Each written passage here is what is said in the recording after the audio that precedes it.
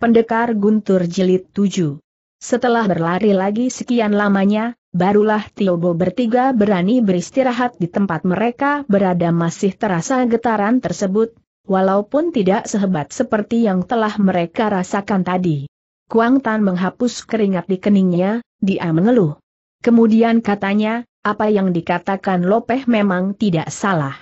Beruntung Lopeh datang berkunjung ke tempatku, sehingga dengan demikian telah menyelamatkan kami, jika tidak, kami berdua tentu sekarang telah terkubur hidup di puncak Lemsan. Tio Bo menghela napas kemudian tersenyum. Itu hanya kebetulan saja bahwa aku memang mengetahui ada ancaman bahaya yang bisa ditimbulkan oleh gempa semacam itu katanya, setelah kita beristirahat sejenak di sini, kita harus melakukan perjalanan lagi, menjauhi Lemsan sejauh mungkin.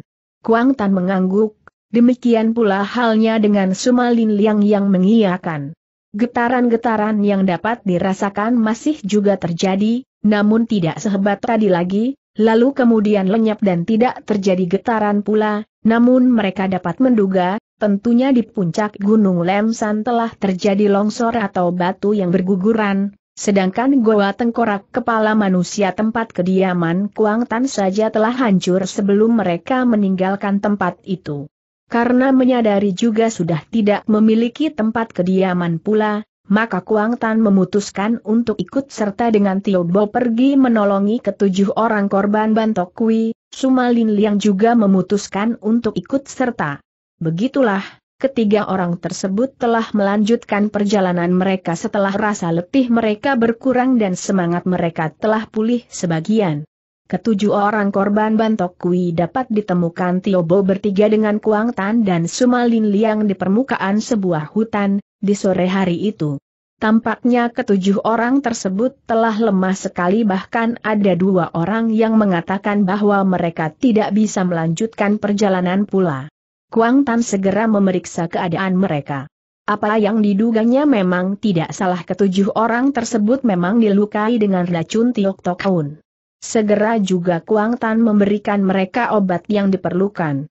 Setelah memakan obat yang diberikan Kuang Tan, ketujuh orang korban keganasan Bantok Kui itu tertidur nyenyak, rupanya penderitaan mereka berkurang banyak. Besok mereka harus makan obat lagi, setelah itu jiwa mereka tidak perlu dikhawatirkan pula kata Kuang Tan.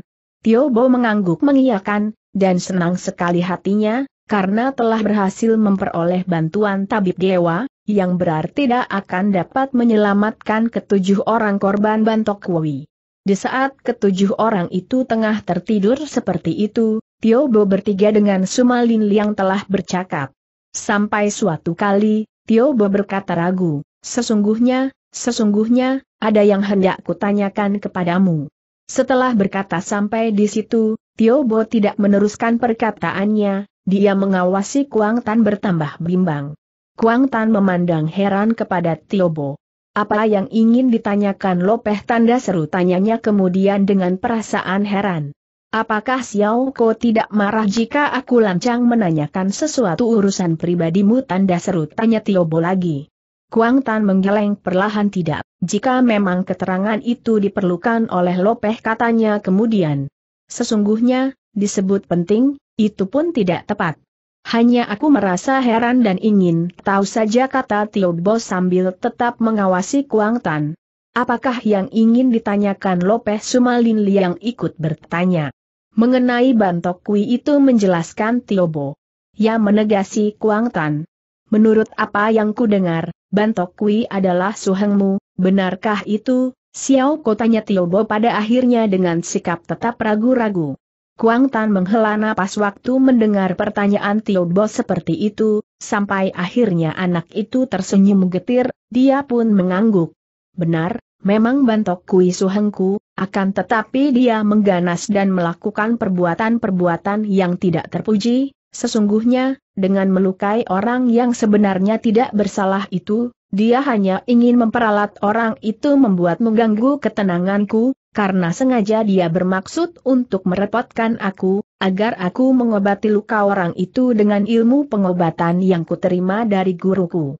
Dengan care seperti itu, Bantok Kui ingin mengorek seluruh pelajaran tersebut lewat dari care pengobatanku, karena pelajaran pengobatan dia tidak menerimanya dari guru kami. Setelah berkata begitu, Kuang Tan menghela napas lagi. Memang cukup memalukan memiliki kakak seperguruan seperti itu. Guruku sendiri telah berpesan agar berusaha mengatasi sepak terjangnya, dan di samping itu, guruku telah mewariskan sejilid kitab ilmu silat. Memang sejak kecil sebenarnya aku tidak berhasrat buat mempelajari ilmu silat namun guruku mengatakan bagaimana aku akan dapat mengatasi sepak terjang suhangku itu jika aku tidak memiliki ilmu silat.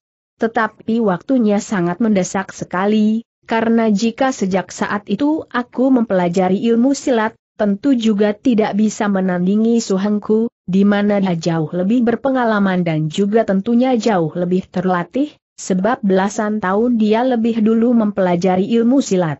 Karena itu, guruku telah memutar otak dengan keras menciptakan semacam ilmu, yang sekiranya dapat dipelajari dalam waktu yang singkat, dan bisa dipergunakan untuk mengatasi sepak terjang suhengku itu. Tio Bo dan Sumalin Liang yang mendengar cerita Kuang Tan itu, telah mengganggu beberapa kali, mereka sangat tertarik sekali. Namun, waktu guruku itu merampungkan ilmu ciptaannya itu, yaitu semacam ilmu yang hanya memiliki delapan jurus saja dia menghembuskan napasnya yang terakhir dan meninggal dunia, sebab terlalu letih telah memeras pikiran dan otak setiap harinya dalam rangka menciptakan ilmunya yang baru itu. Akan jadi segan mempelajari ilmu itu, dan kitab itu selalu kusimpan saja. Sayang kata Tiobo kemudian, gurumu telah bersusah payah memeras keringat seperti itu, akan tetapi kau tidak memanfaatkan apa yang telah diperolehnya dengan berjerih payah, bahkan sampai membawanya ke liang kubur tersebut. Dengan begitu engkau tentu mengecewakan gurumu. Jika memang engkau mempelajarinya, tentu akan mempunyai manfaat yang tidak kecil sedikitnya berarti engkau akan dapat menandingi suhenmu. Sebagai muridnya, gurumu tentu saja mengetahui sampai di mana kehebatan muridnya itu dan di mana kelemahannya, itulah sebabnya sengaja dia telah menciptakan semacam ilmu silat baru, buat menindih suhenmu. Kuang Tan bengong sejenak, dia seperti tengah berpikir sampai akhirnya dia melanjutkan ceritanya, Yah, hal itu memang pernah kupikirkan juga, akan tetapi aku jadi membenci ilmu pukulan delapan jurus yang diciptakan Suhau, karena disebabkan menciptakan ilmu itu, Suhu akhirnya meninggalkan aku selama-lamanya. Tio Bo tersenyum, sedangkan Sumalin Liang bertanya, apa nama dari ilmu pukulan itu tanda seru. Ilmu pukulan Guntur menyahuti Kuang Tan. Guntur? Tentu hebat sekali ilmu itu kata Sumalin. Liang. Aku sendiri tidak mengetahui sampai di mana kehebatannya, karena memang aku tidak pernah mempelajarinya dan selama itu aku hanya menyimpan saja kitab warisan Suhau, menjelaskan Kuang Tan. Sayang. Sayang kata Tiobo. Jika memang kau hendak menolong orang yang terancam keselamatannya oleh suhengmu, berarti engkau harus berlatih diri sehingga engkau memiliki kepandaian yang bisa diandalkan buat menghadapi kakak seperguruanmu itu berarti engkau juga bisa menyelamatkan beratus bahkan beribu jiwa yang akan menjadi korban keganasannya itu. Akan tetapi, tanpa memiliki kepandaian ilmu silat, Aku pun memiliki cara buat menundukkan suhangku itu, yaitu dengan mempergunakan uap obat warisan suhau, yang bisa membuatnya lemas tidak bertenaga dan aku bisa memusnahkan seluruh kepandaiannya. Jika cara itu bisa berhasil, memang cukup baik akan tetapi suhengmu itu bukannya benda, sehingga sebelum sempat kau mempergunakan obat pelemas itu, yang seperti obat bius, kemungkinan besar engkau sendiri telah ditawan olehnya. Mendengar perkataan Tiobo itu, Kuang Tan seperti terkejut dia sampai tertegun. Tiobo tersenyum. Nah, sekarang coba kau pikirkan masak, bukankah jika engkau memiliki ilmu silat yang tinggi, muka suhengmu itu tidak bisa berbuat banyak padamu, dan dengan begitu engkau telah menolongi dan menyelamatkan ratusan calon korban dari suhengmu itu. Kuang Tan menghela napas dalam, dia murung sekali menghadapi semua kenyataan. Benar apa yang dikatakan Lopeh, Selama ini aku seperti juga melupakan jerih payah Suhu yang telah menciptakan ilmu pukulan guntur itu, dengan tidak menuruti pesan Suhu agar mempelajari ilmu warisannya tersebut sama saja halnya seperti aku membangkang dan tidak menghargai Suhu. Hai, hai, baiklah, kelak aku akan mempelajari ilmu pukulan guntur itu. Setelah berkata begitu, tampak Kuang Tan menghela napas lagi berulang kali. Jika memang engkau menemui kesulitan, maka kami pun akan bersedia membantumu sekuat tenaga, agar engkau berhasil mempelajari kedelapan jurus ilmu pukulan guntur itu kata Sumalin Liang. Kuang Tan menoleh kepada Sumalin Liang tanpa mengatakan suatu apa pun juga, dia berdiam saja, hanya matanya memandang tajam. Sumalin Liang jadi merasa kurang enak hati ditatap seperti itu. Engkau tidak perlu khawatir, aku tidak akan ikut serta melihatnya titik kau boleh mempelajarinya sendiri, namun jika engkau menemui kesulitan dalam latihanmu itu, engkau boleh mengemukakan kesulitanmu itu kepada aku atau Lopeh ini, yang juga tampaknya memiliki kepandaian yang tinggi, kami tentu bisa bantu memecahkan kesulitan itu. Dengan demikian, jelas engkau lebih mudah mempelajari ilmu warisan gurumu itu.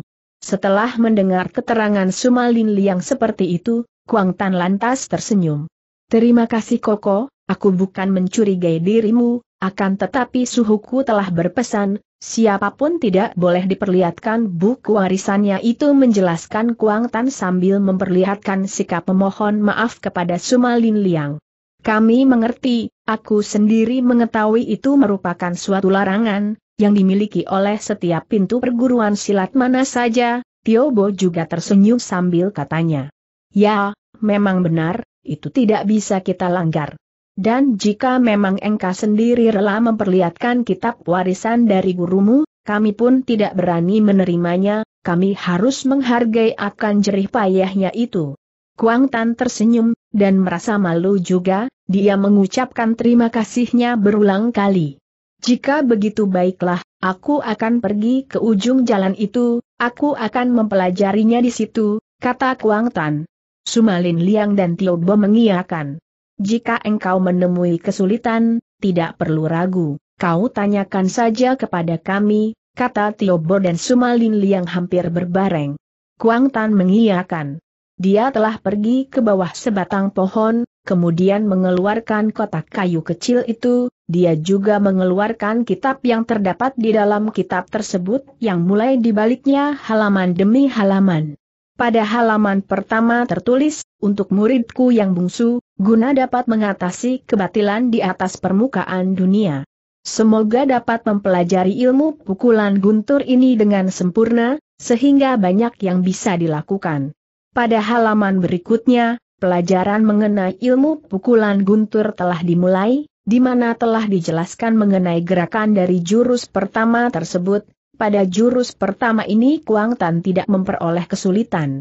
Malah dia dengan segera dapat menangkap maksud dan gurunya, dengan gerakannya yang aneh, di mana Kuang Teng akhirnya meniru setiap gerakan yang dipaparkan di dalam buku itu, dan dia dapat melatihnya dengan baik. Hal ini memang disebabkan Kuang Tan memiliki otak yang sangat cerdas sekali. Kemudian pada jurus kedua, dia menemui sedikit kesukaran, yaitu dalam setiap perubahan gerak, di mana dia mengalami kekakuan, dari gerak yang satu beralih ke gerakan yang lainnya. Dia telah menanyakannya kepada Tiobo dan Sumalin Liang, sehingga memperoleh keterangan jika ingin mengadakan perubahan gerak dari gerakan yang pertama ke gerakan kedua atau berikutnya, Kuang Tan selalu harus menarik napas dalam, dia harus dapat menguasai tenaga tantiannya dengan baik, sehingga gerakan tangannya dapat berjalan dengan lancar dan tidak patah atau kaku. Dengan adanya penjelasan seperti itu, Kuang Tan seterusnya tidak menemui kesukaran karena dia telah menuruti petunjuk yang diberikan Tiobo dan Sumalin Liang. Pada jurus ketiga, semakin banyak kesukaran yang dihadapi Kuang Tan. Akan tetapi dia memang mempercayai Sumalin Liang dan Tiobo bukan sebangsa manusia tidak baik, dia mempercayai kedua orang itu memiliki hati dan jiwa yang jujur, maka Kuang Tan tidak segan menanyakannya kepada mereka. Dengan bantuan Sumalin Liang dan Tiobo, maka dalam satu malaman itu saja Kuang Tan dapat mempelajari sampai jurus kelima, jurus keenam, banyak kesukaran yang tidak bisa ditembusnya, juga dia tidak bisa mengartikan beberapa kelima dari bunyi keterangan jurus tersebut. Waktu ditanyakan kepada Sumalin Liang dan Tiobo, kedua orang itu, yang sesungguhnya memiliki pengalaman yang luas masih tidak mengerti juga dan tidak bisa bantu memecahkan kesulitan tersebut, segera Kuang Tan menunda latihannya. Walaupun demikian, Kuang Tan telah berhasil menguasai lima jurus pukulan guntur itu dan hanya tinggal tiga jurus saja yang tidak dimengertinya, pada keesokan paginya, Kuang Tan dengan rajin telah berlatih diri ketujuh orang korban keganasan Bantok Kui telah dibagikan obat lagi, sehingga kesegaran mereka pulih. Setelah satu hari satu malam mereka berada dengan Kuang Tan bertiga, di bawah perawatan tabib dewa itu, keesokan harinya, mereka telah diperbolehkan pergi meninggalkan tempat tersebut, sebab tidak ada yang perlu dikhawatirkan lagi mengenai keselamatan jiwa mereka.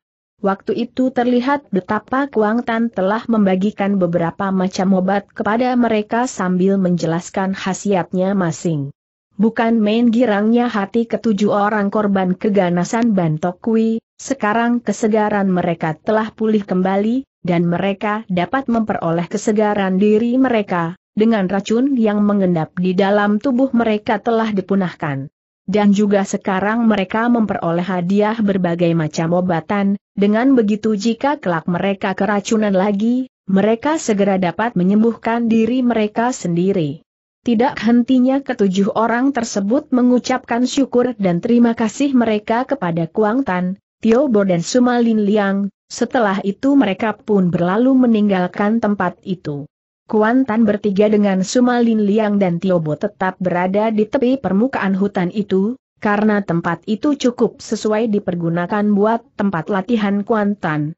Begitulah, bertiga dengan Sumalin Liang dan Tiobo, Kuang Tan selama setengah bulan telah berdiam di permukaan hutan tersebut, mereka tidak kesulitan makanan, karena di dalam hutan itu terdapat banyak sekali binatang hutan, seperti kelinci, burung dan binatang lainnya, yang bisa mereka tangkap, kemudian dipanggang, buah-buah pun banyak sekali terdapat di dalam hutan itu.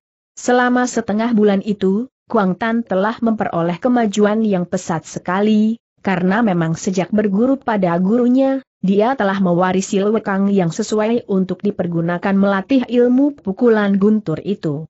Dan sekarang walaupun dia baru berlatih setengah bulan, namun dia bisa melatihnya dengan baik. Dan juga, yang baru dikuasainya itu lima jurus saja, sedangkan yang tiga jurus lagi, bagian belakang dari ilmu pukulan guntur tersebut tidak bisa dipecahkan dan dimengerti olehnya, karenanya Kuang Tan belum melatihnya.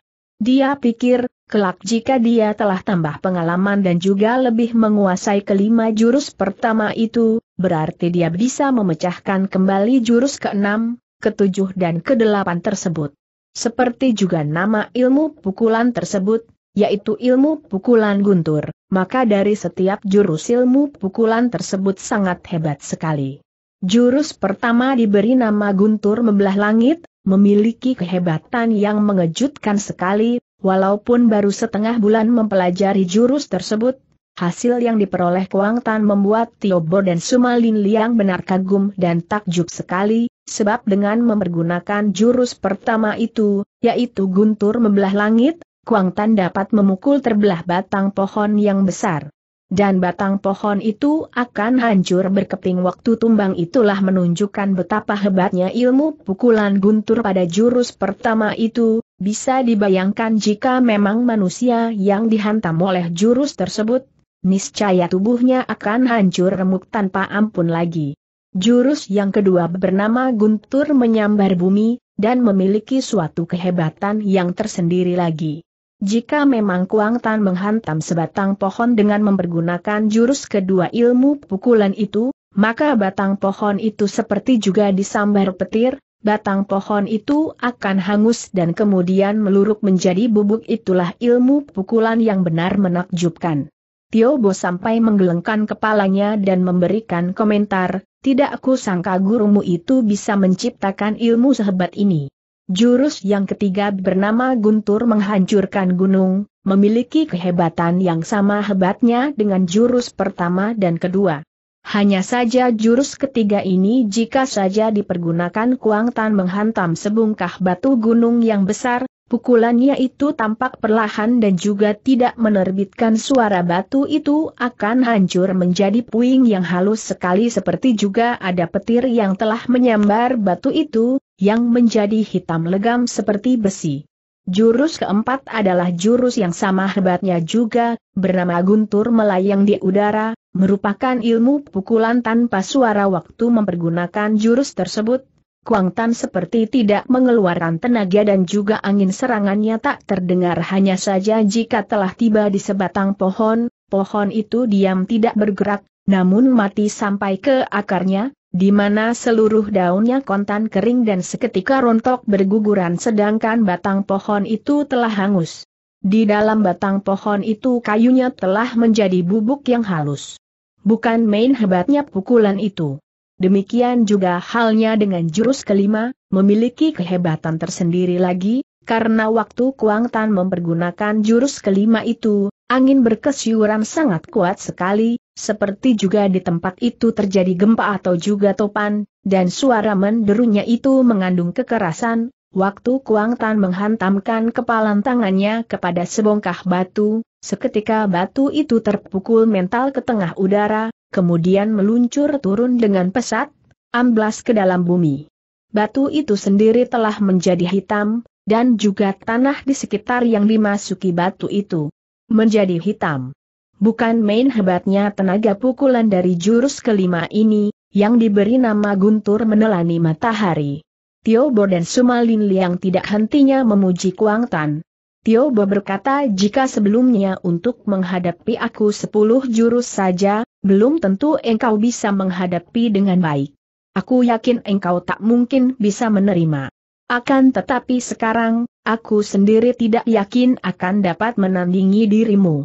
Aka Halope hanya merendah saja dan terlalu memuji diriku, kata Kuang Tan segera. Tio Bo memperlihatkan sikap bersungguh. Aku telah mengatakan dari hal yang sebenarnya, kau baru berlatih setengah bulan, akan tetapi ilmu pukulan guntur yang baru kau pelajari sampai jurus kelima itu sudah demikian hebat, mungkin aku memang masih memiliki keberanian buat main dengan kau. Namun setelah kau pelajari satu tahun, jangan harap aku bisa menandingi lagi dirimu. Belum lagi jika engkau bisa mempelajari jurus keenam atau ketujuh dan kedelapan itu tentu dalam satu atau dua jurus saja aku akan dapat kau rubuhkan. Tio Bo berkata itu buat membuktikan betapa hebatnya ilmu pukulan guntur tersebut. Sumalin Liang pun ikut berkata, benar adikku, sekarang engkau telah menemui dan memiliki ilmu yang hebat luar biasa. Memang lawanmu itu tetap seorang manusia yang bisa bergerak jadi bukan menghadapi benda yang diam tidak bergerak, di mana lawanmu akan dapat memberikan perlawanan.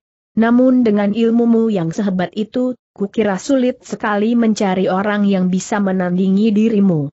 Memang jika kami mengatakan diri kami bukan lawanmu lagi, itu terlalu berlebihan, jika kita bertempur kemungkinan kita akan berimbang, akan tetapi jika kelak setelah kau mempelajarinya satu atau dua tahun, dan juga telah menguasai ketiga jurus penutup dari pelajaran itu, niscaya engkau dengan mudah dapat merubuhkan kami.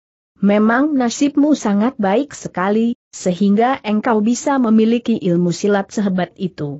Senang juga hati Kuang Tan mendengar pujian Sumalin Liang dan Tiobo yang diucapkan setulusnya itu.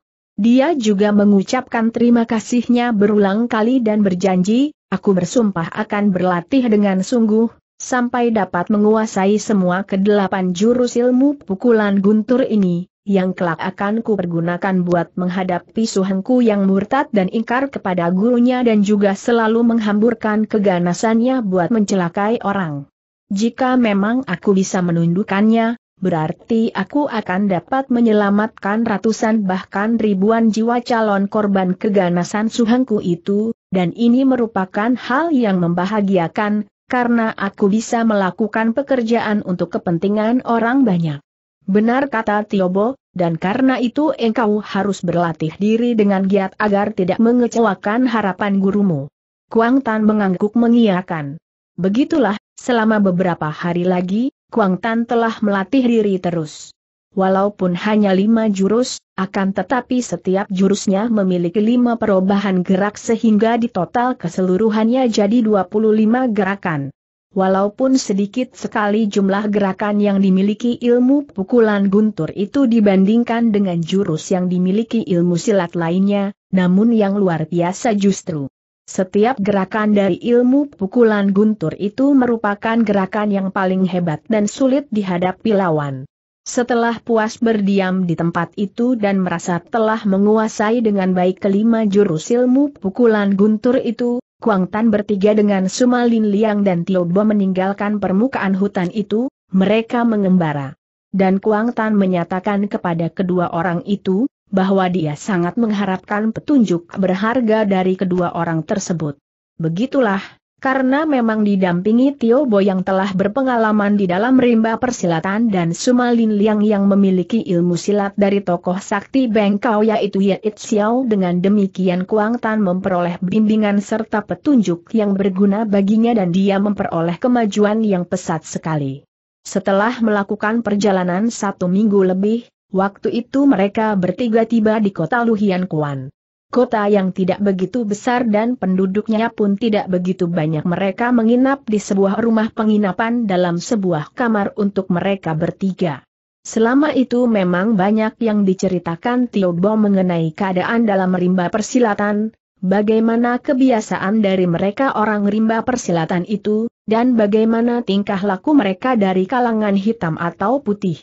Dan dengan mendengarkan cerita Tiobo dan Sumalin Liang, Kuang Tan telah memiliki pengetahuan yang lumayan mengenai rimba-rimba persilatan, dan dia juga memperoleh gambaran yang lebih nyata mengenai keadaan di dalam kalangan Kangou. Banyak kelicikan dari orang rimba persilatan yang diceritakan oleh Tiobo. Bahkan Tiobo pun menceritakan banyak tokoh rimba persilatan yang memiliki kepandaian tinggi sekali, namun mereka memiliki hati yang beracun dan kejam. Karena Tiobo juga memperingatkan kepada Kuang Tan jika suatu saat kelak dia berkelana seorang diri janganlah dia jatuh oleh kata manis, sebab dengan lemahnya Kuang Tan oleh bujuk rayu, bisa mencelakai dirinya sendiri, biarpun dia memiliki kepandaian yang tinggi, namun akan dapat ditipu oleh manusia-manusia seperti itu.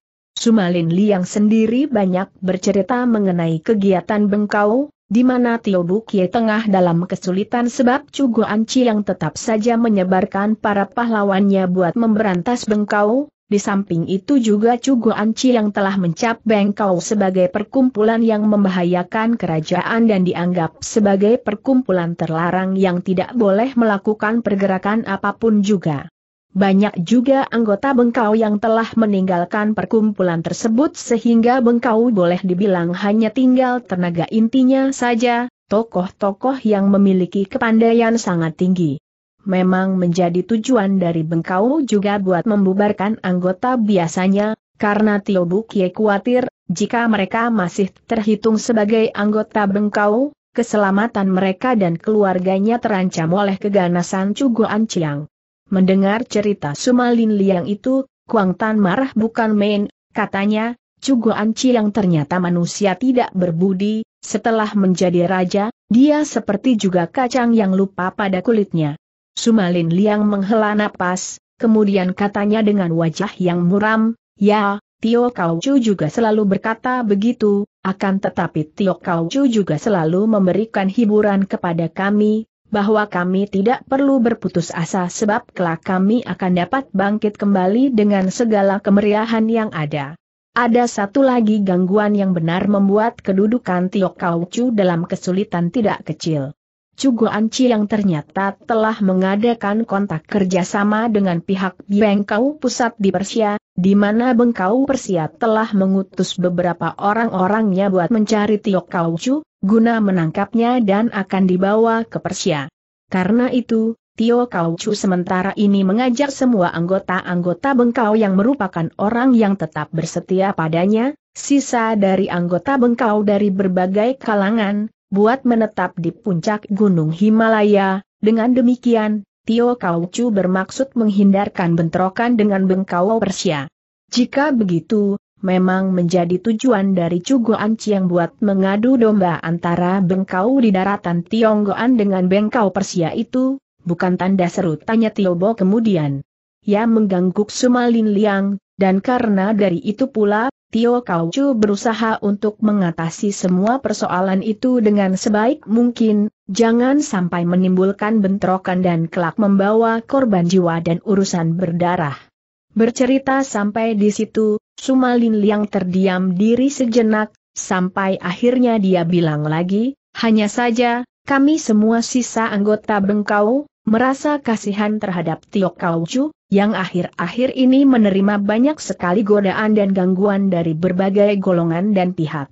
Karena sekarang ini Tio Kau Chu pun tengah bingung mencari-cari Tio Sam Hang Su Chou, guru besar dari Butong Pei, yang telah dianggap sebagai kakek angkatnya itu.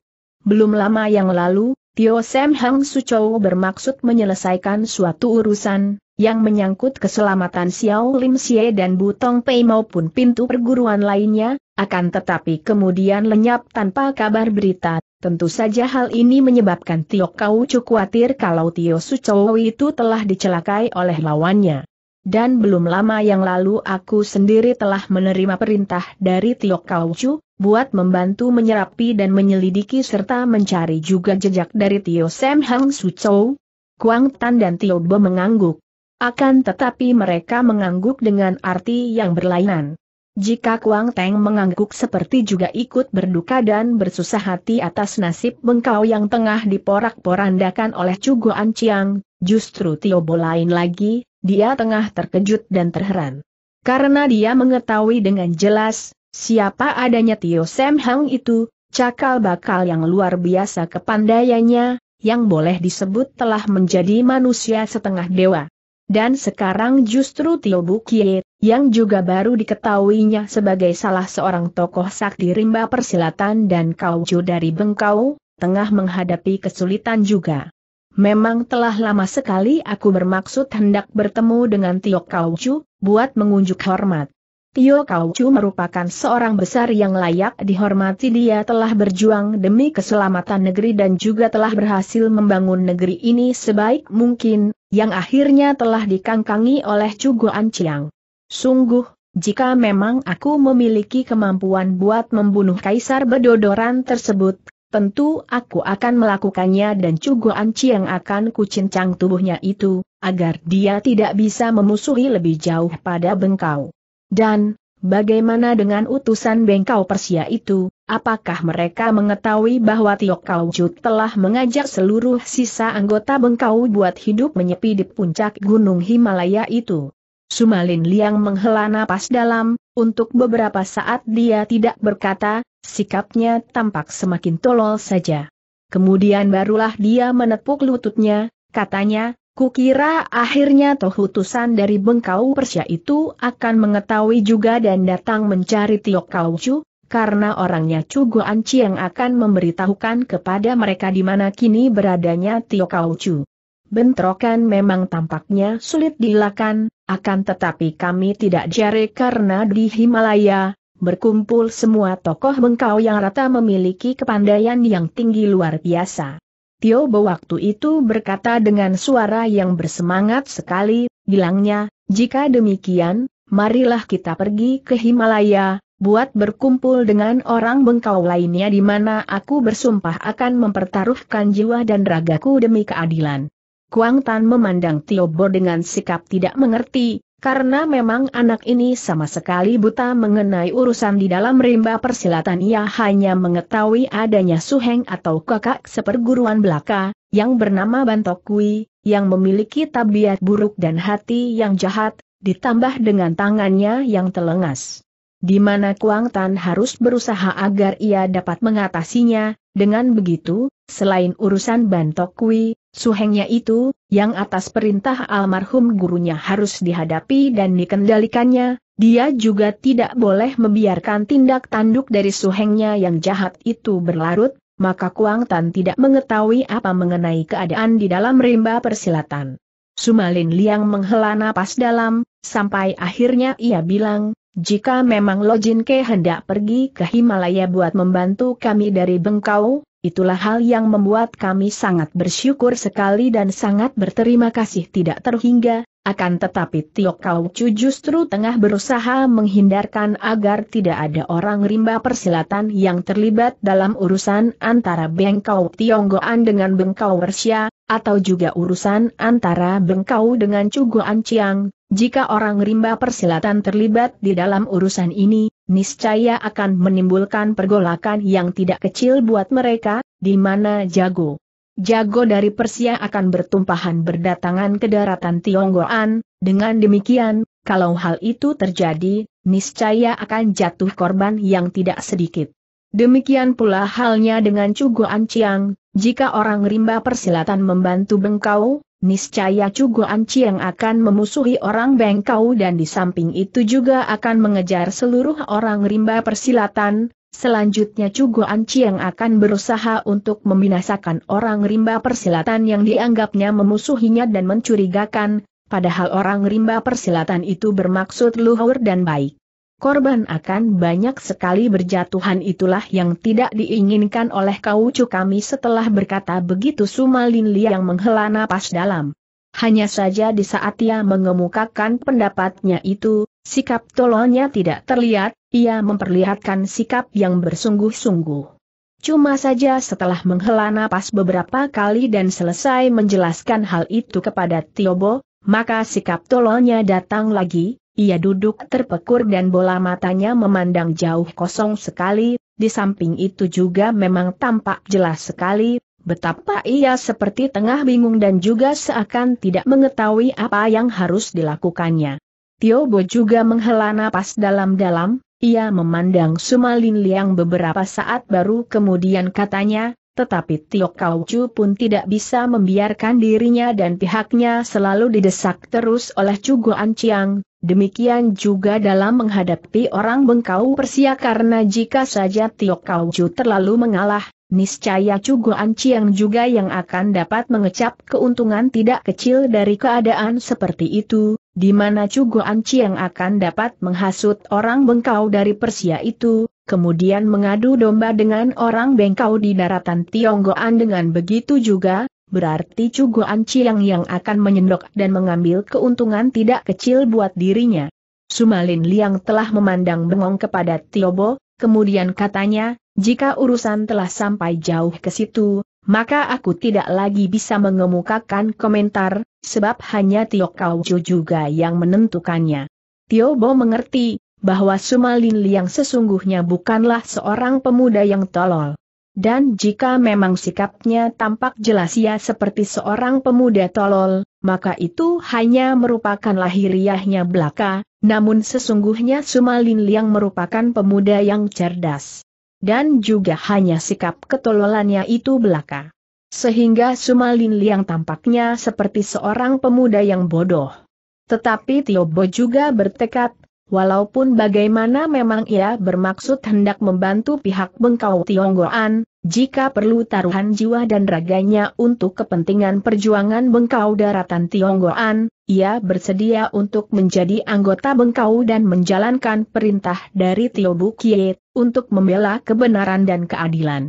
Dengan begitu Tiobo beranggapan memang terlebih baik dan bijaksana, jika saja ia dapat bertemu dengan Tio Bukiet, untuk mengemukakan keinginannya itu. Memang Sumalin Liang jelas tidak dapat memberikan komentar terlalu banyak, terlebih lagi keputusan, yang tidak mungkin dapat diberikan karena Sumalin Liang hanya merupakan anggota Bengkau tingkat muda dan juga anggota biasa saja. Karena itu Tio Bo hanya berusaha agar kelak ia bisa dipertemukan dengan Tio Bu Kie. Dalam keadaan seperti ini, Tio Bo sudah tidak mengemukakan pula keinginannya itu ia hanya berdiam diri dengan berbagai macam rencana dan juga pikiran yang kiranya bisa meringankan kesulitan yang tengah dihadapi bengkau daratan Tionggoan.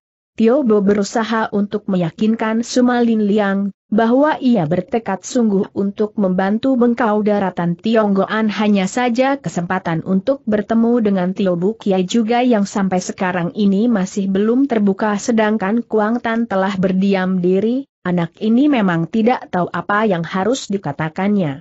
Tio Bo menghela napas pula, kemudian tanyanya, Suma Kongcu, untuk urusan ini baiklah kita bicarakan lain kali saja. Namun sekarang ini, apa yang sekiranya dapat kita lakukan untuk kebaikan dari para pendekar gagah yang mencintai tanah air? Bukankah kenyataan yang ada Cugo Ciang berusaha melenyapkan kebiasaan yang terdapat sejak dulu kala, dengan mengeluarkan berbagai peraturan? Tentu saja peraturan yang dikeluarkannya itu tidak membawa keuntungan buat orang yang mencintai negara, karena belum lama yang lalu justru aku telah sempat mendengar, Cugo yang perintahkan agar pasukan yang ditempatkan di tapal batas dikurangi setengah, sebagian ditarik ke daratan dalam untuk membasmi orang yang menentangnya. Tentu saja hal ini membahayakan sekali keselamatan tanah air kita, sebab pihak Mongolia yang memang telah ratusan tahun mengincar Tionggoan, dengan maksud hendak menjajah, merupakan bahaya yang tidak kecil. Jika terjadi Cugo Anci yang menarik pulang pasukannya dari tapal batas, maka kekuatan di tapal batas jadi berkurang sekali, ini menyebabkan pihak Mongolia lebih mudah untuk menerobos melewati perbatasan setelah berkata begitu, Tio Bo menghela napas beberapa kali. Sumalin Liang tidak segera menyahuti, ia menoleh pada Tio Bo sambil memandang dengan sorot metu yang kosong, sikapnya benar sikap seorang yang bego. Akan tetapi sesungguhnya Sumalin Li yang tengah berpikir keras, sampai akhirnya dia bilang. Baiklah kita bicarakan nanti dengan Tiok Chu, karena Bo Ampu tidak bisa memberikan pendapat, Bo Ampu juga khawatir kalau nanti pendapat Bo An PWM merupakan pendapat yang tidak baik dan tidak benar. Tio Bo mengangguk. Jika begitu Suma Kongcu bersedia mengajakku untuk bertemu dengan Tiok Chu tanyanya. Sumalin Liang mengangguk. Sedangkan Kuang Tan telah mendekati Sumalin Liang, kemudian katanya, Koko, sesungguhnya ada sesuatu yang hendakku sampaikan kepadamu. Heh, apakah itu tanya Sumalin Liang sambil membuka matanya lebar, dia memandang pada Kuang Tan dengan sikap bertanya-tanya bagaikan orang terkejut. Kuang Tan menghela napas. Aku ingin mencari kakak seperguruanku itu menjelaskan Kuang Tan pada akhirnya. Oh, jadi kau bermaksud mencari bantok kuit tanda seru tanya Tio Bo menyelak. Kuang Tan mengangguk. Benar sahutnya, memang maksud Bo Ampu akan mencari suhengku itu, karena ingin sekali Bo Ampu melaksanakan pesan dari Insu. Sumalin Liang menghela napas dengan sepasang alis mengkerut, kemudian katanya, jika memang kau hendak mencari bantok kui berarti kita harus berkelana di dalam rimba persilatan menyelidiki jejaknya, dengan care seperti itu barulah kita bisa mengetahui di mana dia berada, sehingga kita pun bisa mencari sampai ketemu. Akan tetapi kepandaian Bantokwi sangat tinggi sekali. Kuang Tan mengangguk sambil tersenyum. Memang adikmu mengetahui hal itu, namun Insu telah memberikan pesannya yang harus dilaksanakan juga telah ada cara yang sebaik-baiknya untuk menghadapi suhengku itu sehingga walaupun bagaimana suhengku itu akan dapat dihadapi olehku. Jika demikian, aku hanya dapat menyetujui saja keinginanmu buat mencari bantok kui, namun harus diingat, biarpun bagaimana, kita harus berhati menghadapinya, mungkin aku sendiri pun belum sanggup menghadapi kelihayan dari tangannya yang beracun. Tio Bo tersenyum, dia telah bilang, jika memang demikian aku pun bersedia mendampingi terus padamu, dan kita mencari Bantok Kui, aku yakin, sepandainya Bantok Kui akan tetapi dengan kita bergabung niscaya kita bisa menghadapinya dan dia tidak bisa melakukan terlalu banyak untuk mencelakai kita, bukankah di sini ada sutenya? Sebagai tabib dewa yang benar-benar dapat menghadapinya dan juga memunahkan seluruh pengaruh racunnya itu dan setelah berkata begitu, Tio Bo tersenyum lebar. Kuang Tan mengangguk beberapa kali, kemudian merangkapkan kedua tangannya, dia telah menjura memberi hormat. Katanya, Terima kasih atas kesediaan Lo Chiampo dan juga Koko yang ingin membantuku, dalam hal ini, memang seharusnya kita bertindak cepat adikmu khawatir nanti Bantok Kui melukai orang lainnya yang tidak berdaya, sehingga menyebabkan korban yang berjatuhan cukup banyak. Begitulah, setelah mereka bercakap beberapa saat lagi, ketiga orang ini pun meninggalkan tempat tersebut, Sedangkan Tiobo yakin bahwa tabib dewa ini tentunya merupakan seorang yang sudah bisa diandalkan. Walaupun kepandaian istimewanya itu belum bisa dipelajari dan diyakini sepenuhnya, Tohiat telah menguasai lima jurus. Dan kelima jurus itu memang memiliki keistimewaan masing, merupakan ilmu yang sangat hebat sekali. Jika saja Kuang Tan berhasil bertemu dengan seseorang yang membimbingnya dengan baik, tentu ia dapat menjadi seorang yang memiliki kepandaian sangat tinggi. Tubuh orang itu tinggi besar, dengan muka potongan empat persegi, matanya memancarkan sinar yang tajam sekali. Dari sorot matanya dan garis-garis bibirnya yang selalu terkatup rapat menunjukkan bahwa orang itu memiliki hati yang keras dan agak kejam. Terlebih lagi setiap kali matanya melirik tajam, pada bola matanya itu memancarkan nafsu ingin membunuh. Orang itu mengenakan baju warna biru dengan celana berwarna biru muda, ia melangkah perlahan-lahan di jalur jalan kecil yang terdapat di dalam kota tersebut, kota Cingkuan, sebuah kota yang cukup besar dan ramai. Dari sikapnya yang agak mencurigakan lelaki bermuka agak kejam dan keras itu, yang mungkin berusia 40 tahun, seperti tengah mencari sesuatu. Waktu hampir sampai di ujung jalan, tiba-tiba dilihatnya dari arah depannya melangkah seorang lelaki berusia 30 tahun lebih, pakaiannya perlente dan mukanya putih bersih menunjukkan orang itu dari keluarga yang cukup berada. Lelaki bermuka bengis itu tersenyum dengan seulas senyum penuh arti ia berhenti melangkah, sedangkan pemuda berbaju perlente itu telah melangkah dekat padanya. Waktu jarak mereka terpisah kurang lebih tiga tombak, lelaki bermuka empat persegi itu telah menjejakkan kedua kakinya, tubuhnya melesat ringan sekali ke samping pemuda tersebut dibarengi dengan tangan kanannya yang menampar pemuda itu, bersuara sangat nyering. Tidak ampun lagi tubuh pemuda itu terjungkel bergulingan di tanah.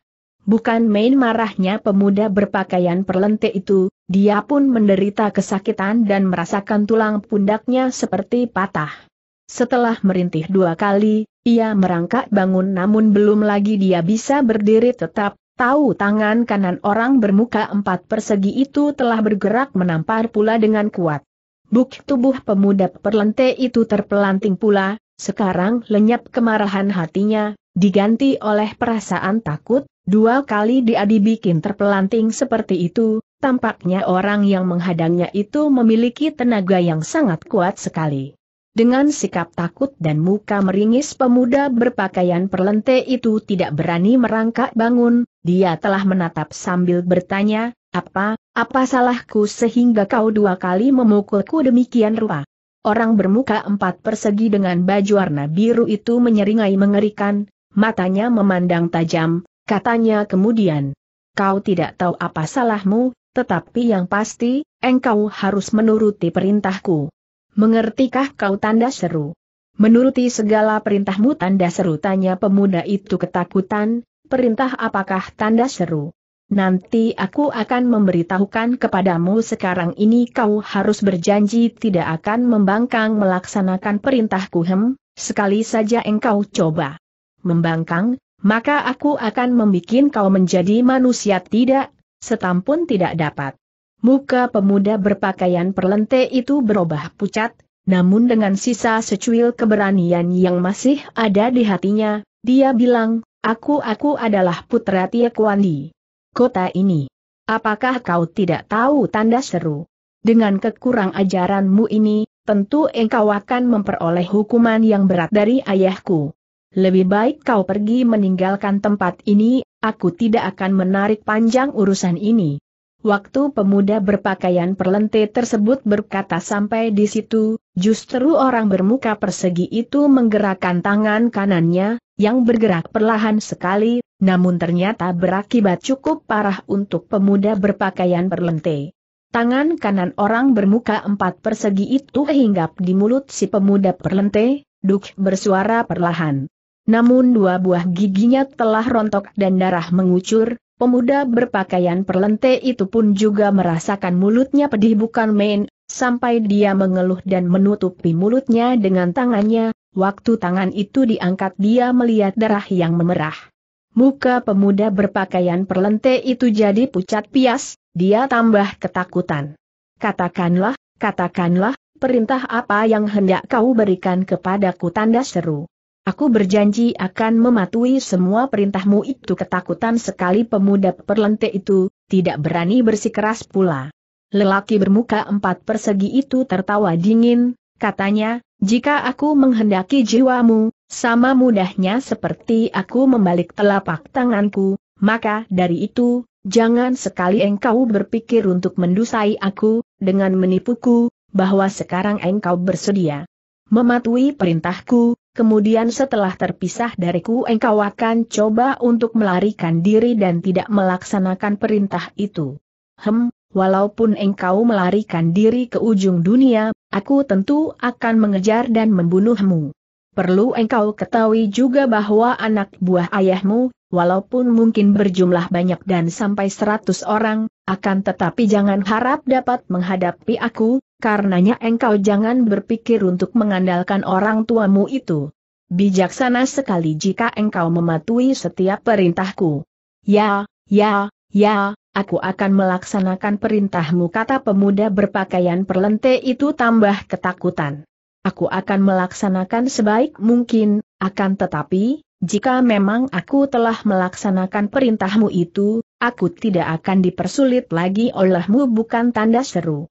Lelaki bermuka empat persegi itu mengangguk katanya, ya, tentu saja juga perintahku yang perlu engkau laksanakan itu bukan merupakan pekerjaan yang sulit, cukup jika engkau bisa mengantarkan sepucuk surat kepada seseorang, dan juga menitipkan semacam barang kepadanya. Pemuda itu menghela napas, Tadinya dia menduga orang bermuka keras dan kejam itu akan memberikannya perintah yang sulit, siapa tahu hanya tugas mengantarkan sepucuk surat dan sesuatu barang saja, maka dia mengangguk beberapa kali dengan segera. Kukira perintah yang berat, tidak taunya hanya untuk menyampaikan surat dan barang kepada seseorang. Nah, perintahkanlah, ke mana aku harus menyampaikan surat dan barang itu kata pemuda perlente putra Tiekuan itu, sambil bernapas lega. Orang bermuka empat persegi itu tersenyum. Sabar dulu, walaupun terdengarnya perintah itu sangat mudah, namun sesungguhnya cukup berat. Orang yang menerima surat dan barang itu akan marah dan menanyakan kepadamu siapa orang yang menitipkan surat dan barang itu kepadamu, dan engkau tidak boleh memberitahukannya, walaupun orang tersebut menyiksa dirimu. Mengertikah kau tanda seru? Pemuda perlente itu terkejut. Orang itu akan menyiksa diriku? Oh haha dia jadi mengeluh pula. Orang bermuka empat persegi itu tersenyum sambil merogoh sakunya. Dia mengeluarkan sepucuk surat yang digulung kecil, juga di tangannya terdapat sesuatu barang, yang mengejutkan pemuda perlente itu itulah sebuah batu yang berukiran tengkorak kepala manusia dalam ukuran yang kecil. Barang inilah yang perlu kau sampaikan, dan ingat pesanku, walaupun engkau disiksa, tidak boleh engkau memberitahukan siapa yang telah memberikan benda ini kepadamu kata orang bermuka empat persegi itu, sekali saja engkau memberitahukan, celakalah kau. Pemuda perlente itu mengangguk terpaksa kemudian katanya, baiklah dia pun menerima surat dan barang yang agak mengerikan batu dalam bentuk tengkorak kepala manusia. Kepada siapa benda ini harus ku sampaikan tanda seru tanyanya. Kepada Ciak Kuing Iewang We, Kau kenal dengannya, bukan? Yang rumahnya di pintu kota sebelah barat tanda seru tanya orang bermuka empat persegi itu. Pemuda perlente yang mulutnya terdapat noda darah yang mulai mengering itu, mengangguk mengiyakan. Di hatinya ia berpikir tidak taunya hartawan itu, tentu dia kenal dengan ayahku. Tiekwan yang berkuasa di kota ini. Mustahil dia berani melakukan tindakan kurang ajar tanda seru hatinya jadi terhibur juga. Katanya aku akan menyerahkan barang ini padanya, dan tidak mungkin aku memberitahukan siapa yang telah memberikan benda ini padaku. Bagus, nah, kau pergilah kata orang bermuka empat persegi itu. Pemuda itu mengiyakan, segera juga ia menuju ke pintu sebelah barat, untuk menemui hartawan Ciak Kuing Ie sedangkan orang bermuka empat persegi itu tersenyum mengawasi kepergian putra Tiak Wan. Gedung Ciak Kuing Ie ternyata sebuah rumah yang besar dan mewah, juga di pintu gedung itu berdiri dua orang pengawal yang rupanya merupakan dua orang yang mengerti ilmu silat, karena tubuhnya yang tegap dan juga matanya yang memancarkan sinar tajam. Sikap mereka pun tegas, Waktu melihat pemuda perlente itu, mereka berdua mengenalnya bahwa pemuda itu tidak lain dari putra Tiekuan di kota ini. Ho Kong Chu, angin baik apa yang telah membawa Kong Chu berkunjung kemari? Heh bertanya salah seorang di antara mereka namun segera dia terkejut, sebab melihat mulut pemuda itu yang berlumuran darah telah mengering apa yang terjadi padamu Ho Kong Chu tanda seru. Pemuda perlente itu, menyeringai meringis, dia bilang, aku hendak menyampaikan surat dan barang kepada Ciak. Wang Wei, tolong kalian beritahukan kepada Ciak Wang Wei bahwa aku ingin bertemu dengannya.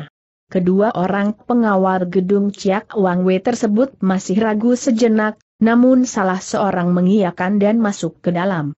Yang seorang lagi, yang tidak ikut masuk ke dalam, malah menghampiri Hokong Chu itu. Sesungguhnya apa yang terjadi Hot Kong Chu tanda seru tanya orang itu sambil memperlihatkan sikap terheran-heran.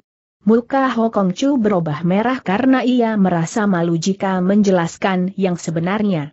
Aku tadi berlaku ceroboh sekali dan tidak disangka aku tersandung, sehingga aku terjerembab dan mulutku menghantam batu, membuat gigiku copot dua dan mulutku berdarah dia berdusta. Orang itu tertegun sejenak, namun akhirnya dia tertawa.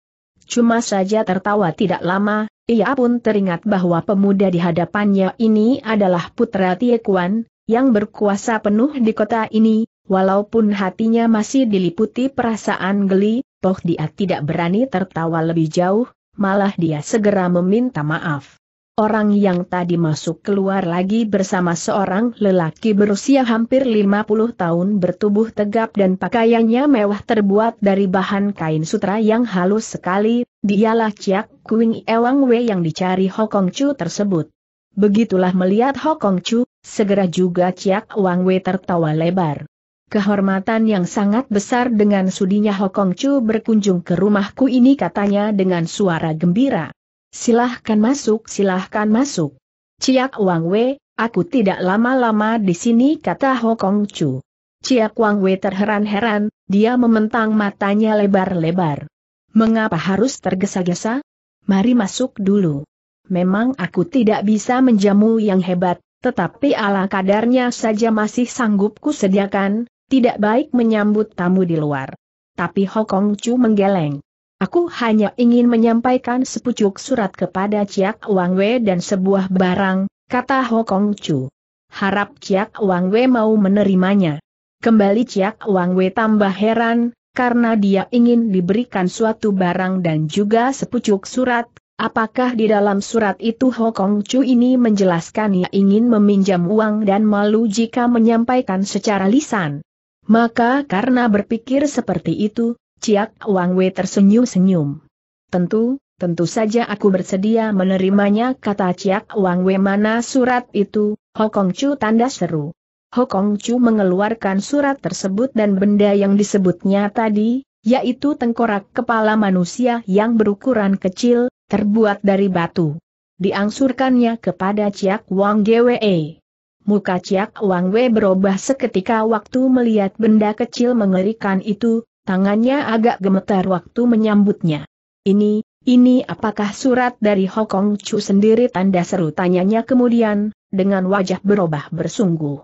Dan matanya memancarkan sinar yang tajam, sejenak sikap ramahnya jadi lenyap. Hokong Chu cepat-cepat menggeleng sambil mengulapkan tangannya. Bukan, bukan, katanya, aku dititipi seseorang yang meminta agar aku menyampaikan surat dan barang itu. Nah sekarang aku telah menyampaikan surat dan barang itu kepada Ciak Wang Wei, maka aku mohon diri. Tunggu dulu Hokong Chu panggil Chiak Wang Wei dengan suara nyaring. Sebenarnya Hokong Chu itu sudah ingin meninggalkan tempat tersebut cepat, hanya saja mendengar panggilan Chiak Wang Wei ia menahan langkah kakinya dan menoleh lagi. Chiak Wang Wei cepat membuka surat itu dan membacanya wajah Chiak Wang Wei seketika berubah. Setan dia memaki dengan suara mengandung kegusaran sedangkan Hokong Chu yang waktu itu mengawasi Chiak Wang Gwe jadi kaget. Dilihatnya muka hartawan itu merah padam mengandung kemarahan yang sangat. Chiak Wang Wei menoleh kepada Hokong Chu yang waktu itu tengah mengawasi dengan hati yang jadi berdebar karena Hokong Chu sendiri tidak tahu apa bunyinya surat itu. Dia juga telah melihat kemarahan Ciak Wang Gwe dengan demikian tentunya bunyi surat itu bernada tidak baik. Hokong Chu, kata Ciak Wang Wei kemudian, siapa yang telah menitipkan surat dan barang ini kepadamu tanda seru suara Ciak Wang Wei walaupun tetap ramah, namun di dalam nada suaranya itu terkandung kemarahan. Yang menitipkan, yang menitipkan surat itu tidak ku kenal menyahuti Hokong Chu. Ya, aku mengerti, akan tetapi bagaimana rupa dan keadaan orang itu tanda seru tanya Ciak Wang Wei lagi. Muka Hokong Cup pucat, dia teringat pada pesan orang bermuka empat persegi dan kejam itu. Segera dia menggelengkan kepalanya berulang kali, jelas ya ketakutan. Aku, aku tidak tahu. Aku tidak tahu katanya kemudian dengan suara tergetar. Ciak Wang Wei semula heran melihat sikap Hokong Chu, ia segera mengetahui tentu di dalam urusan ini terdapat sesuatu yang kurang menggembirakan karena dilihatnya Hokong Chu ketakutan seperti itu. Segera Ciak Wang Wei tersenyum menahan perasaan herannya, dengan sikap yang semakin ramah ia berkata, apakah Hokong Chu tidak mau memenuhi undangan tuan rumah untuk singgah sebentar? Tentu aku Ciak Kuing Ie tidak akan gembira, karena tidak dapat melayani seorang mulia seperti Hokong Chu. Walaupun orang mengundangnya dengan hormat, Hokong Chu tetap saja menggelengkan kepalanya berulang kali sambil katanya, aku ada urusan yang sangat penting dan harus segera aku selesaikan, maafkan aku tidak bisa memenuhi undangan dari Ciak Wang Wei, setelah berkata begitu, Hokong Chu merangkapkan serasang tangannya, dan memutar tubuhnya untuk berlalu. Hokong Chu panggil Chiak Wang Wei lagi. Hokong Chu tampaknya sudah tidak mau memperdulikan Chiak Wang Wei, dia terus juga melangkah hendak pergi, karena pemuda ini khawatir kalau nanti Chiak Wang Wei mendesak terus dengan pertanyaan-pertanyaan perihal orang menitipkan surat dan benda yang mengerikan itu.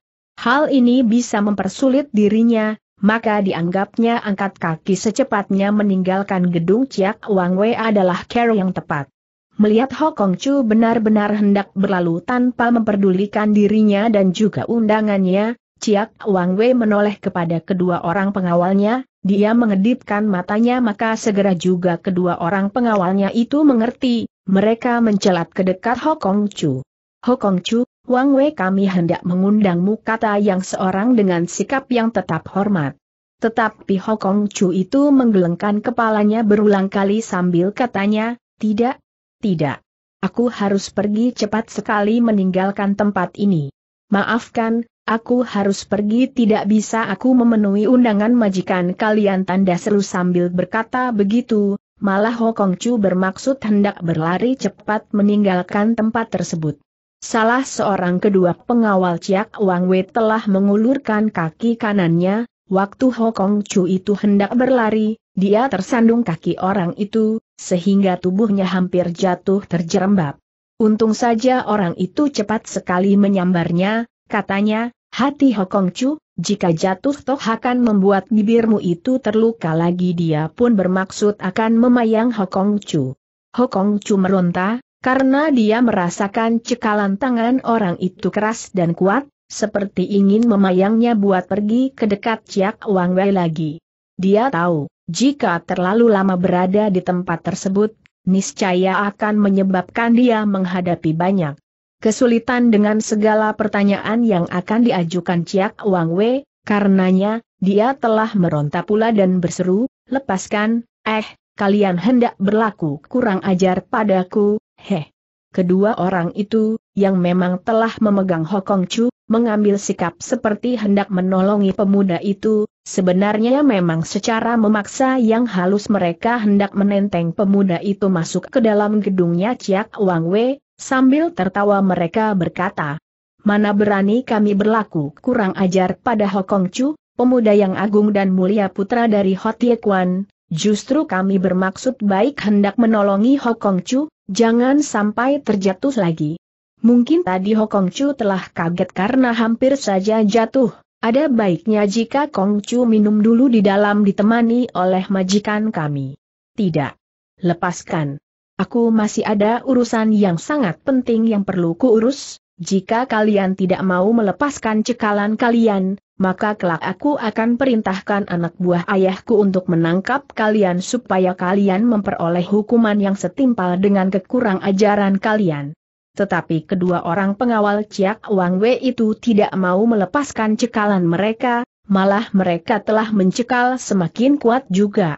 Dengan demikian membuat Ho Kong Chu tidak berdaya untuk meronta, dia seperti dipaksa untuk masuk ke dalam gedungnya Ciak Wang Wei. Waktu itu terlihat betapapun juga Ho Kong Chu meronta, namun tenaganya tidak bisa menandingi kedua orang itu, yang tetap mencekalnya. Lepaskan kalian dengar perintahku atau tidak? Oh, benar kalian berlaku kurang ajar padaku teriak Hokong Cukalap, dia khawatir jika kelak Ciak Wang Wei mengajukan pertanyaan mengenai diri orang yang menitipkan surat dan barang mengerikan itu, sehingga dia terlanjur menyebutkan yang sebenarnya, tentu dirinya bisa menghadapi bahaya tidak kecil, itulah sebabnya ia meronta sekuatnya dan berusaha agar kedua orang itu melepaskan cekalannya. Namun kedua orang anak buah Ciak Wang Gwe tetap saja mencekalnya dengan kuat. Malah mereka seperti menenteng sesuatu yang ringan telah membawa Hokong Chu masuk ke dalam gedungnya Ciak Wang Wei, mereka juga tidak memperdulikan teriakan Hokong Chu. Ciak Wang Wei menghampiri ke dekat Hokong Chu, katanya sambil tertawa, Hokong Chu, kedua orangku itu bermaksud baik. Mereka memang bukan orang terpelajar, maafkanlah atas sikap mereka yang kasar, tetapi sesungguhnya mereka bermaksud baik, karena melihat Hokong Chu terkejut, mereka bermaksud hendak menyajikan minuman buat Hokong Chu agar perasaan kaget Hokong Chu berkurang, maafkanlah mereka. Walaupun berkata begitu, Ciak Wang Wei tetap saja dengan sikapnya yang menghendaki Hokong Chu dibawa masuk ke dalam gedungnya dia tidak berusaha menyuruh kedua orang anak buahnya itu untuk melepaskan cekalan mereka pada tangan Hokong Chu. Malah Ciak Wang Wei juga yang telah menutup dan mengunci pintu gerbang rumahnya. Hokong Chu, seperti kalap berteriak meronta hendak melepaskan diri dari cekalan kedua orang anak buah Ciak Wang Wei, tetapi cekalan dari kedua orang anak buah Ciak Wang Gwe begitu kuat, menyebabkan Hokong Chu tidak berdaya dan tetap terpegang malah dia seperti diseret terus masuk ke dalam sampai di ruangan tamu Ciak Wang Wei. Waktu itulah kedua orang tersebut melepaskan cekalan mereka dengan sikap memperlihatkan perasaan menyesal, mereka hampir berbareng telah berkata, Maafkanlah kami sesungguhnya kami hanya hendak menyajikan satu dua cawan arak kepada Hokong Chu, yang telah bercapai lelah mengantarkan surat buat majikan kami juga tampaknya tadi Hokong Chu terkejut karena hampir saja jatuh. Kami akan segera menyajikan minuman buat Hokong Chu. Setelah berkata begitu, segera juga kedua orang itu menyingkir ke pintu ruangan tamu. Chia Kwang Wei telah menghampiri Hokong Chu. Salah seorang dari kedua orang anak buah Ciak Wang Wei tersebut telah memberikan isyarat kepada seorang pelayan keluarga Ciak Wang Gwe agar segera mengeluarkan minuman buat tamu. Ciak Wang Wei sambil tersenyum lebar telah merangkapkan tangannya. Maafkanlah Hokong Chu, kiranya Hokong Chu tidak akan menolak maksud baik kami dan mau bercakap sebentar di sini katanya. Hokong Chu dengan menahan kemarahannya berkata, Ciak Wang Wei, aku telah bersusah payah mengantarkan surat kepadamu dan barang titipan itu, akan tetapi engkau memperlakukan aku dengan care, tidak pantas. Hal ini bisa saja kulaporkan kepada ayahku walaupun engkau memiliki uang yang banyak, Namun jangan harap engkau bisa menghindar dari hukuman disebabkan tingkah lakumu dan orang-orangmu yang kurang ajar ini. Cia Kuang Wei merangkapkan tangannya, tetapi dia seperti tidak memperdulikan ancaman, katanya, mari Hokong Chu duduk beristirahat dulu. Dengan gusar, Hokong Chu menjatuhkan dirinya. Dia memandang Ciak Wang Wei dengan sorot mata yang tajam, kemudian katanya.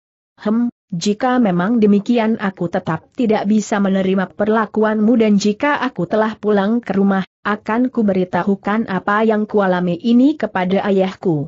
Maksud Hokong Chu dengan berkata begitu ingin menggertak Ciak Wang Wei tapi Ciak Wang Wei sama sekali tidak memperdulikan ancaman dari pemuda itu, malah dia tertawa lebar, setelah tertawa dia baru bilang, Hokong Chu, dengarlah baik-baik. Aku hanya bermaksud menghormati Hokong Chu, tanpa memiliki pikiran jahat, janganlah Hokong Chu mempunyai dugaan yang tidak-tidak. Hem, sekarang coba Hokong Chu tolonglah aku beritahukan kepadaku, siapakah orangnya yang telah menitipkan surat dan benda ini kepada Hokong Chu, jika memang Hokong Chu tidak mengetahui nama orang itu, maka cukup dengan memberikan gambaran mengenai keadaan diri orang itu. Hokong Chu mengawasi Chiak Wang Wei dengan sikap tidak senang, tetapi hatinya jadi kuncup.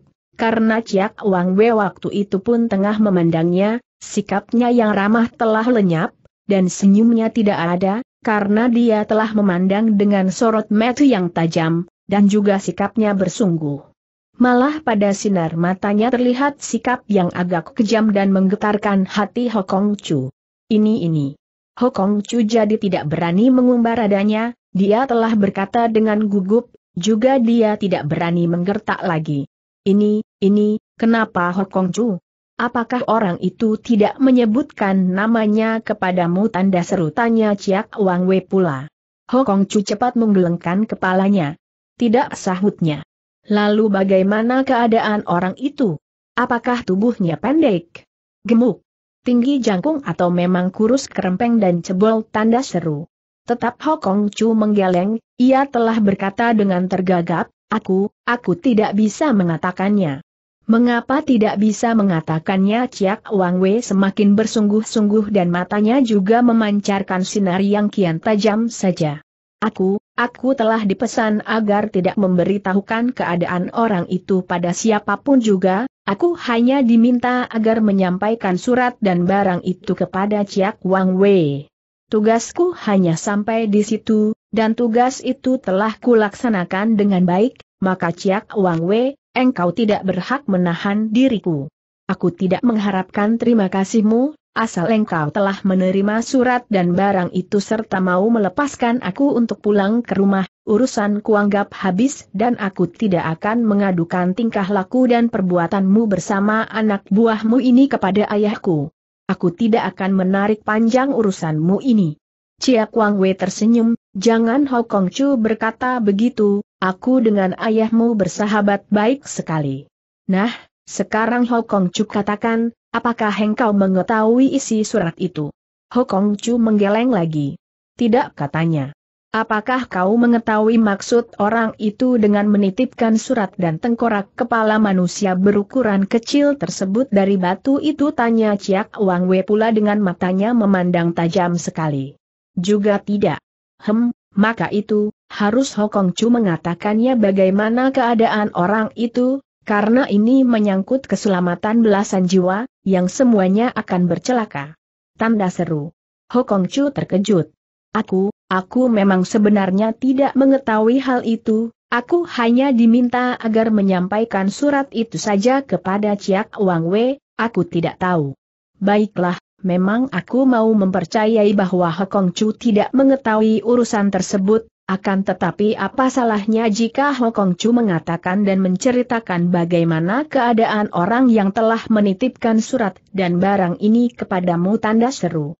Waktu berkata begitu, tampak jelas sekali, betapa Ciak Wang Wei membawakan sikap yang mendesak.